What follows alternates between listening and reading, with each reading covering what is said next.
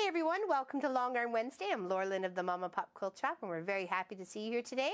Today we're working on Lee's quilt. She won this via watching our live streams. This come together. This is the French braid star quilt. Very scrappy version of it. The um, main piece was green and then I used a lot of my scraps to put it all together and it turned out to be 82 by 82. We used the cut off pieces to build out a whole border to go all the way around. It ended up 72. You have 36 blocks and then you end up 72 of these pieces left over. You could build a whole other quilt with them. You don't even have to put it around the border. So, and this, if you were to do it just this way, it turns out to be, I think, by 70, 6 by 76 or something like that, or 75. And then with a couple of inches, you know, it ends up being about 80, 82 when it's all finished. So very happy Lee won this. These are the, some of the benefits and rewards you get for watching the Mom and Pop Quilt Shop channel. And uh, so congratulations. So we've been filling it all out with some very lovely little stitch outs. So kind of each, each block has something on it. It's not always different. I've only worked with two patterns so far, but then I've got a nice special one that I'd like to stick right into the center of the star itself. Okay, so this one we're going to put in here is called Special Rose.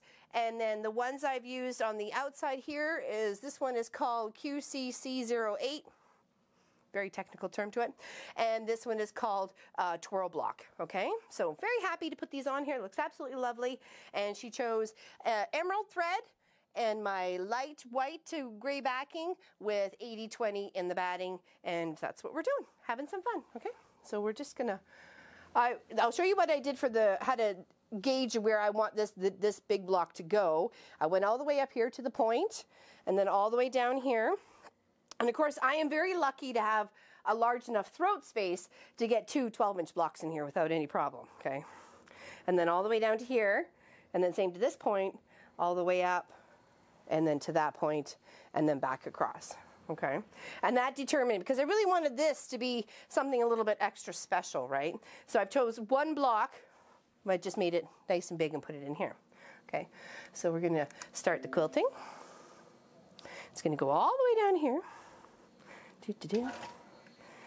And it's not perfect by any means, but it was never designed to be perfect. This is my scrappy adventure, and she liked it so much she wanted to enter to win it. So congratulations, Lee. From San Antonio, Texas. Yes, we had a lovely video chat the other day and uh, discussed all sorts of things, many threads, different types of patterns and stitch outs, and yeah, we had a lot of fun. So I don't know how long this is going to take, but we're going to film the whole thing so you can see it.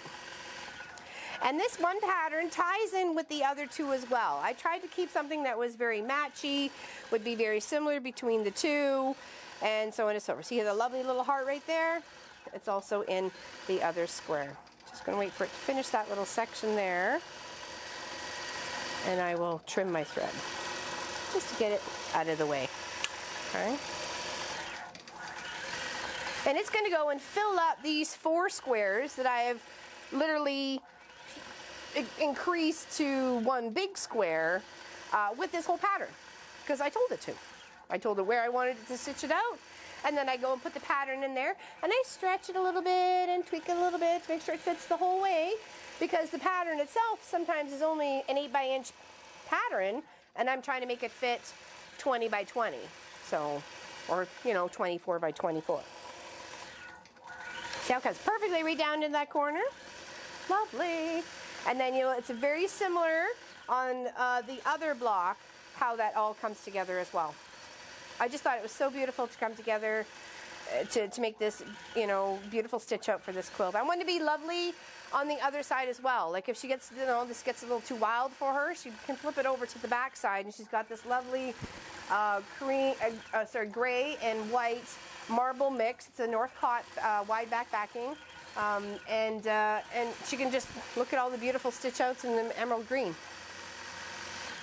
And we did talk about two different colored threads, but no, I like, I like actually this as well. I like having that bold um, secondary quilts really because it'll look like a nice whole cloth when finished. And I will post pictures once it's all finished up. I do have work to do. I've got this here so I pretty much only have the two more rows and then I got to work the border. I got to work the, the border at the top, has some beautiful leaves in it, and they're just gonna go all the way around.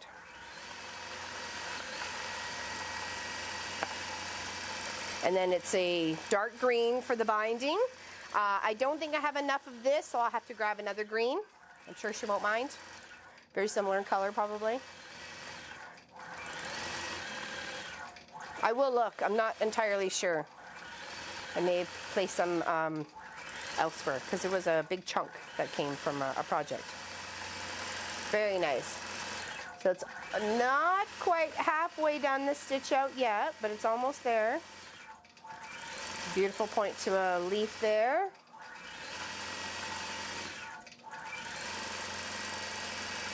We have a lot of fun on our live streams. I hope you guys can join us. It's Sunday at 3 p.m. Eastern.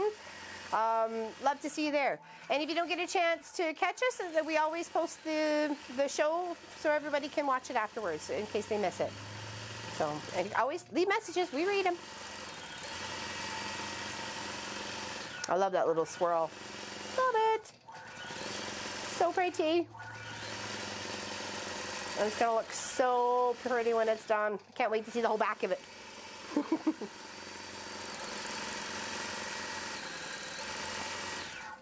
and I like how the green kind of disappears on the green, like the dark on the dark, but then it just pops right up when it comes to any of these color strips that we put on uh, for the, the Scrappy collection.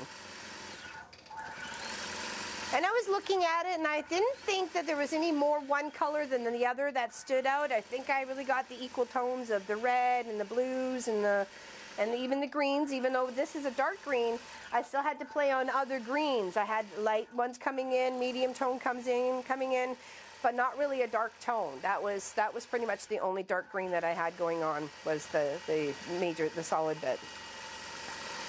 But it's hard to sometimes pull a scrappy collection that way where it doesn't look like you had too much pink in one corner and too much purple or whatever. It helps to get it all blended equally. That's why I think I did all the blocks first and then started pitting them together, like lining them up. This one had too much orange. Like, you know, there was a couple of them, like, it would end up too much orange in the center here. Like that and that was enough. This pulling in from the side, that pulling, it was equal. It was a little bit equal. Same with the reds. There's equal reds, you know. Matter of balance. And sometimes if you just don't know, just go for it anyways. You end up creating a beautiful work of art.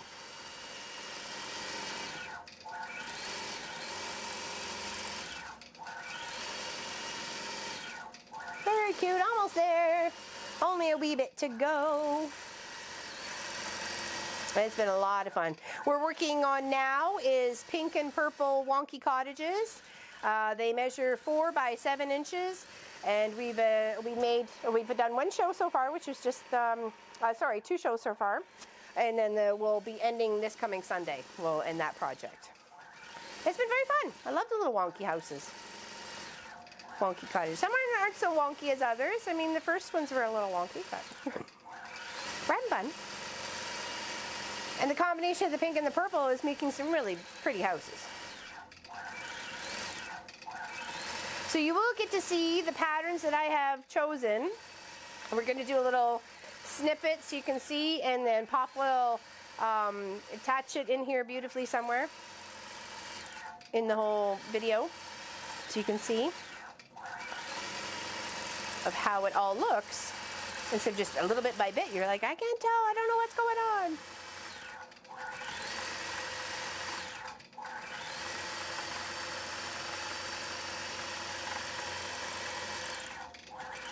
Love the thread choice color. That emerald is beautiful. I didn't have enough teals. I should I got to add some teals to my collection. I felt disappointed I didn't have the a proper teal color for her.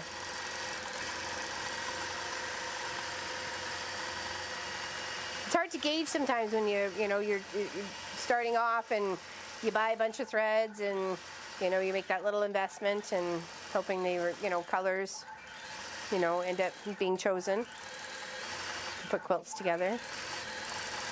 Actually, I just picked up this emerald one uh, for an April project. Actually, it was uh, this fabric was uh, part of, used for. So I hadn't used emerald before. I had jungle green, and that was kind of emeraldy, but it's a little bright. It's a little br on the bright side.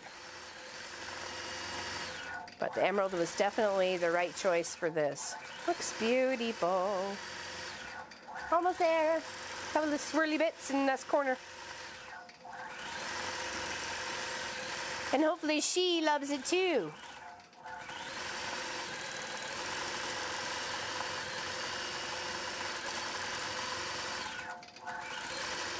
Some of my favorite patterns.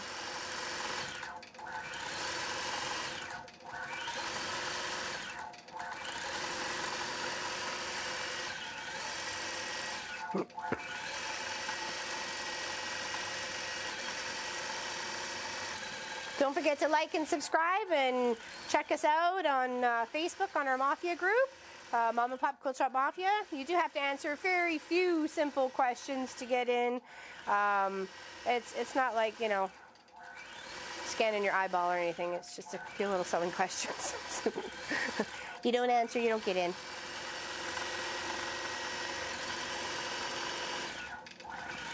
We're Almost done, one little bit, and done. Can't wait to continue on with the next couple of rows and then finish off the border.